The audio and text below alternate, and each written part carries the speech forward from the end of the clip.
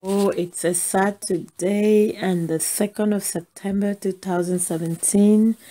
It's always a privilege to just come to us um, on Saturdays and lay down some of the things that I'm getting in the realms of the spirit. And we have been looking at, um, God has been talking to us about um, the body of Christ, what the body of Christ is, the church and uh, some of the challenges that the church goes has been going through for years.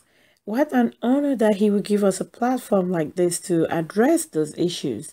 And I really want to thank everyone that has sent us questions, people that have sent us encouragement. We we appreciate that. We take that. Um, we do not take it for granted that you're listening, you're following, your life is being transformed we want to say thank you for letting us know how much this is impacting your life. Your life your lives right? Few of you. So it's lives. When we started looking at uh, um especially the the part of the body of christ of uh, discerning the body the the amount of response was so overwhelming, especially when we transition into the aspect of spiritual abuse. A few of you had to call a few texts and be like, whoa, I am so blessed by that teaching because that's something I've gone through. That's something I'm going through. A lot of people like, I went through that, but I didn't even know it was spiritual abuse. Yes, there is spiritual abuse. So this week, um, this weekend, we're taking spiritual abuse in the body of Christ to another level. This week, we want to see the role of the shepherds. We want to see the role of the pastors. We want to see the roles of the men of God, women of God in um, spiritual abuse in the body of Christ or in the church. Now, when we looked at spiritual abuse, uh, as we have been looking at spiritual abuse, it sounded we gave the impression like it was just the, the fault of the Christians. No. No. Pastors, leaders, church leaders, please listen. This is very important. Not every Christian is your Christian. I don't care how much you want your church to be huge. Yes, there are people that are called with the grace to have millions in their congregation, but still it would be the sheep that they can be um, their shepherd. They can lead those people. There are people that when they will come into your congregation, even though they're in the body of Christ, they will lose their place immediately. Why? Because they are not called to be there. Don't just be interested in having numbers. Let your focus be the kingdom. Let your focus be the body, building the body, making sure that the body is knitted together.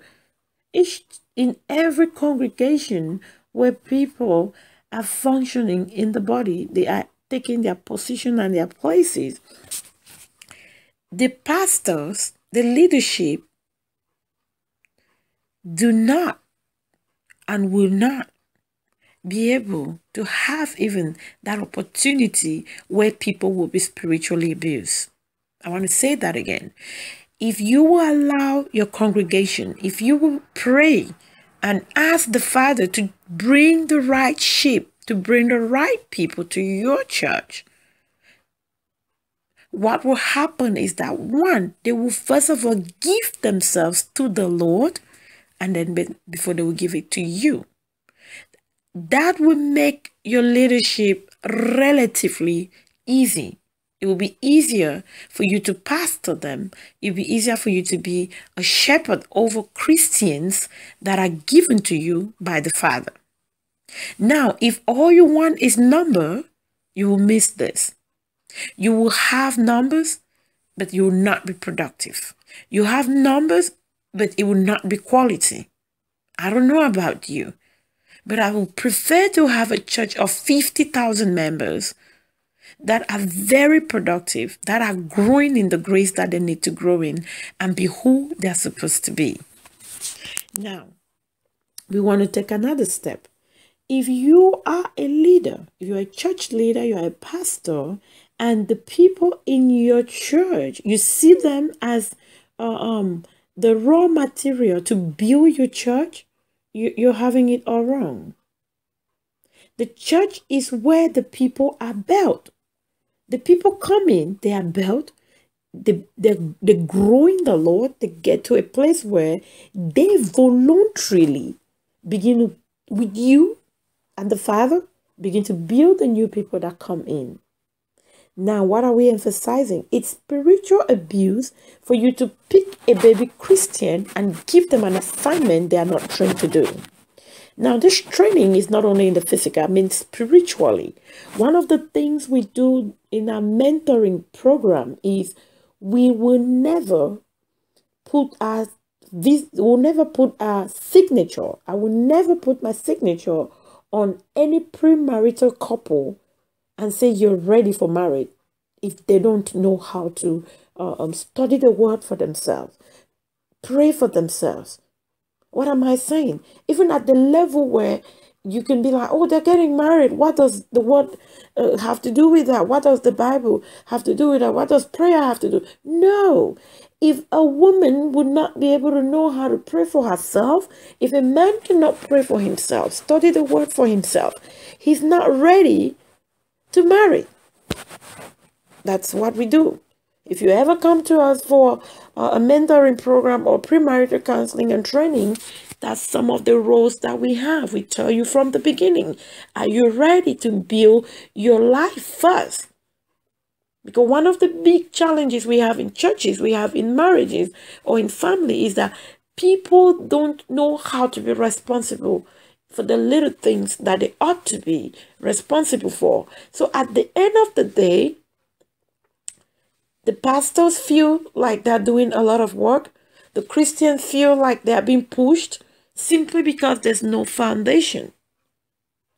Pastors, leaders, before you assign any Christian in your church to do, I don't care if, it's doing the uh, um, cleaning the janitor work, cleaning anywhere, please make sure to go through the foundation class. Have a basic foundation class for your church, for your congregation, your ministry, the purpose God has given you. If you're dealing with people, have a basic training for them. Get to a point where you're sure they are born again first. Go to the next level to know that they've given their all to the Lord. When they have given themselves first to the Lord, when they give themselves to you in ministry as a leader, as a pastor, your work is going to be so light. And then we can be able to avoid spiritual abuse. Otherwise, you're abusing them. Now, I know we've said a lot this weekend.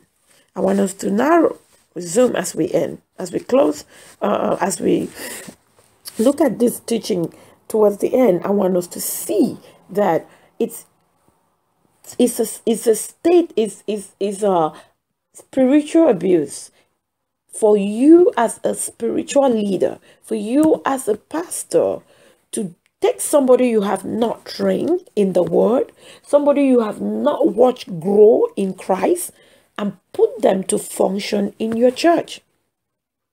You're setting them up for failure and it's not okay. And the body of Christ will not be built like that. You will not be able to build a church by putting people to function where they are not trained, first in the word and in those departments. So if I'm starting a new one, what do I do? Train the first five or six people. Don't assign them into any position yet. Train them for the work of the ministry. Train them to be Christians. And then when they are grown, they are stable in their walk with God, then you can assign them. That way you will not abuse them and you will not feel abused as a pastor. Now, we will be looking at how does spiritual abuse affect a pastor?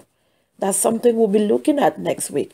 As a pastor, how do you know when you're spiritually abused? Because this is not one way. It's not just the Christians feeling abused. It's not just the pastor um, abusing the Christian. There are also situations where Christians abuse um, their spiritual leaders or their, their, their pastors. We'll look at that next week. Before I go, remember to pray for the service. Pray for your Sunday service. Pray for your pastor. Pray for your fellow Christians. This is a journey. And what a privilege it would be if the people you're walking with are as strong as you are, they're running with the same force you're running with. It's going to be easy. It's going to be a wonderful journey if we can do that. God bless you. Enjoy your weekend in Jesus' name.